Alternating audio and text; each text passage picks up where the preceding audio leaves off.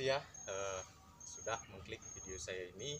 Mudah-mudahan semeton yang sedang menonton video saya ini dalam keadaan sehat dan baik-baik saja tentunya. Oke, kali ini di video kali ini saya akan berburu berburu bahan bonsai lagi semeton.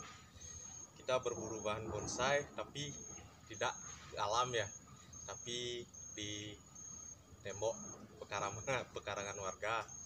Informasinya saya dapat dari pemilik rumah bahwa di tembok pekarangannya di, dia ada uh, pohon yang bisa dijadikan bonsai. Oke, sebelum saya ke rumahnya, ke rumah uh, kenalan saya tersebut, uh, uh, kembali lagi saya ingatkan untuk tetap mendukung channel saya ini dengan cara like, komen dan share tentunya dan subscribe agar channel saya ini lebih berkembang dan saya semakin semangat lagi untuk membuat video-video uh, atau konten-konten tentang bonsai. Mari semeton.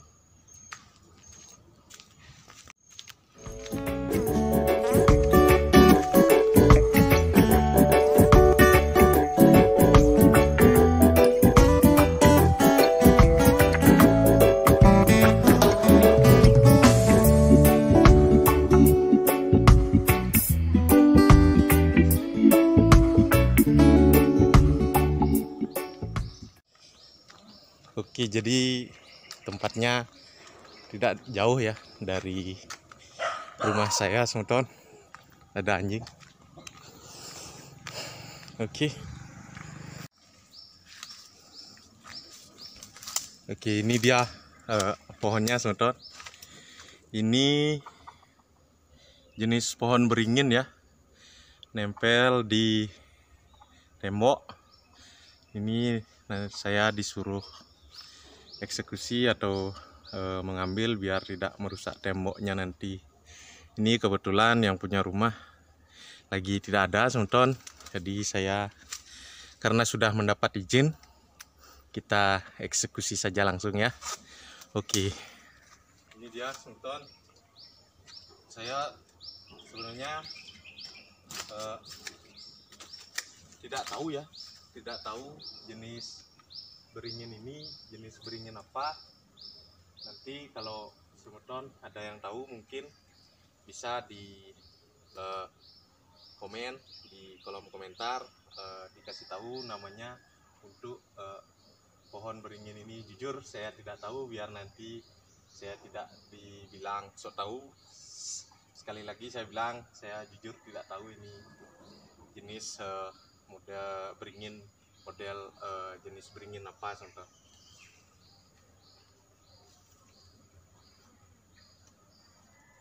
Ini rencananya saya akan uh, apa namanya membuat bonsai on the rock sebetulnya jadi sebisa mungkin akarnya saya uh, cari ya sebisa mungkin saya dap harus dapat akar ya contoh biar bisa e, meling melingkar di batu nanti akarnya. Jadi akarnya sudah panjang-panjang ya seperti ini. Saya kira ini cocok untuk di gaya onder kan atau OTR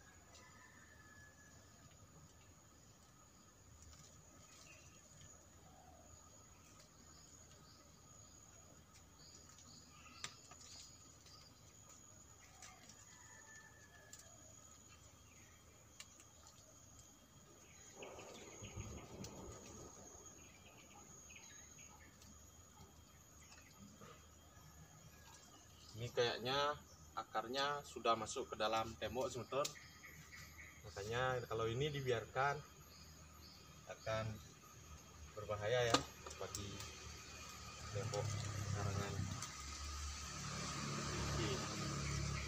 Jadi ini ini ini perakarannya sudah melingkar tinggal disusun saja nanti di batu ya atau di batu karang yang sudah saya sediakan di rumah. Ini nanti saya akan sedikit pangkas daunnya agar mengurangi stres.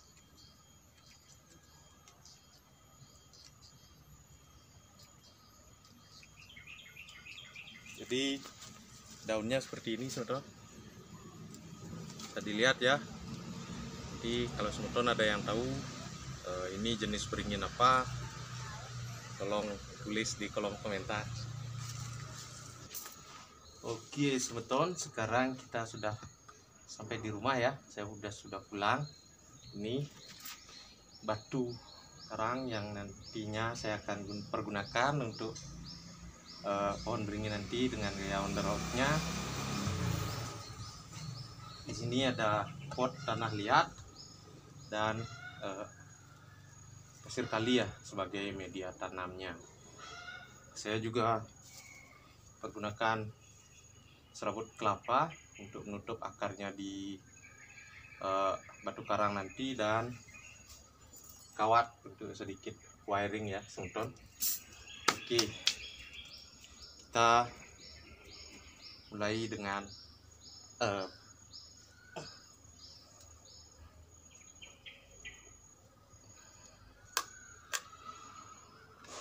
batunya ya teman-teman jadi di ini nantinya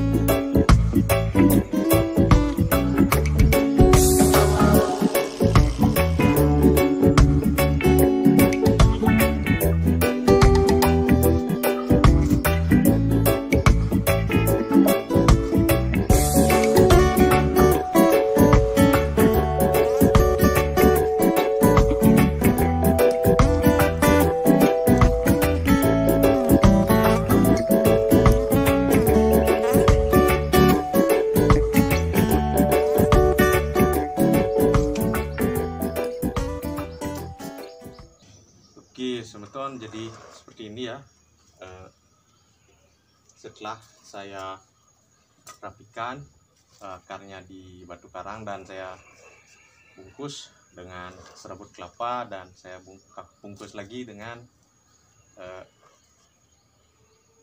plastik semeton biar tidak lepas ya.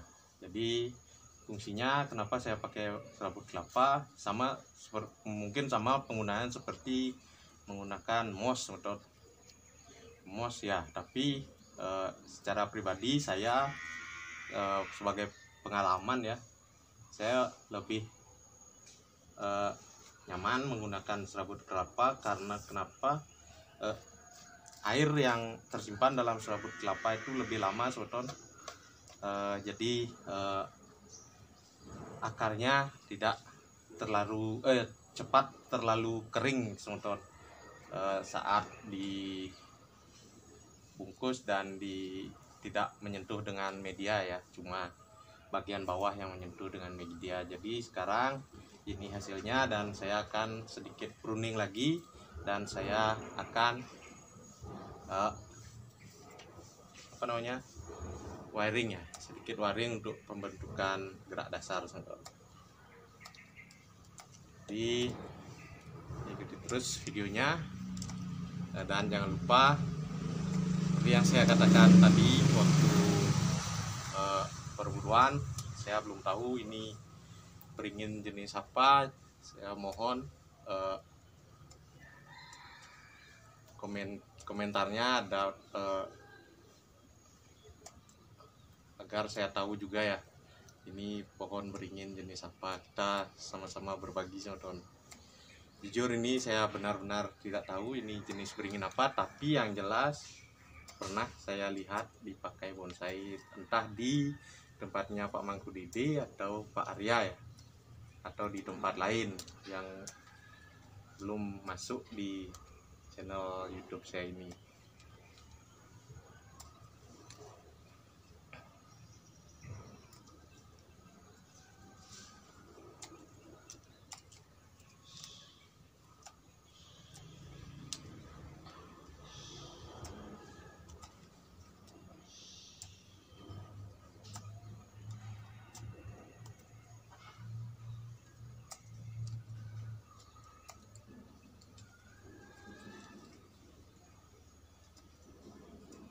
Dan ini sekarang saya akan melakukan pengawatan ya teman-teman. Pengawatan yang saya lakukan hanya untuk membuat gerak dasar eh gerak awalnya saja teman-teman. Karena ini kan eh, pohonnya tidak lurus jadi saya akan membuat eh, gerak dasarnya saja. Sebelum nanti kalau mau hidup baru eh, saya akan perbaiki dan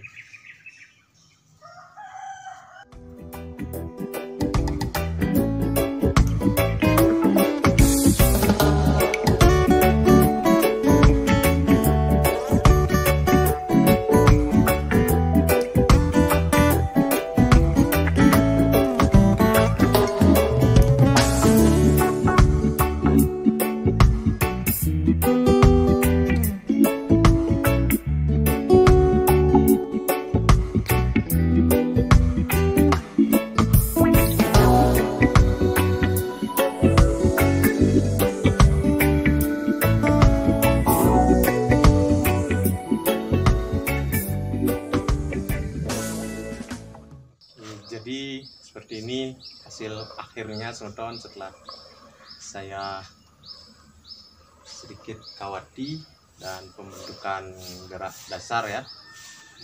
Uh, mudah-mudahan uh, pohon beringin ini mau hidup dan kita bisa bereksperimen lagi ke depannya oke.